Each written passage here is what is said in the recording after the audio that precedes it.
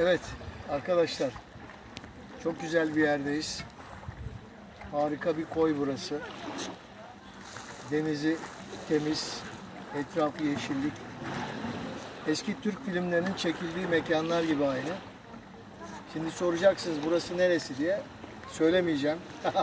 Sadece biz geliyoruz kimse gelmesin. Gelmek isteyenler beni bulsun. Ben de beraber gelebilirler. Bu harika pırıl pırıl suda şu tepedeki yeşilliklerde kestane toplayıp, ılamur toplayıp ne bileyim burada çayınızı içip oturabilirsiniz. Bak bak bak bak bak. Hadi söyleyeyim ya. Neresiydi burası? Kapaklı. Kapaklı ama sahile iniyorsunuz. Kapaklı'nın içine giriyorsunuz. Oradan sahile doğru iniyorsunuz. Ve böyle harika bir yere geliyorsunuz ve hemen 80'lere 70'lere dönüyorsunuz. Direkt Türk filmi moduna giriyorsunuz. Tamam. Hadi gelmek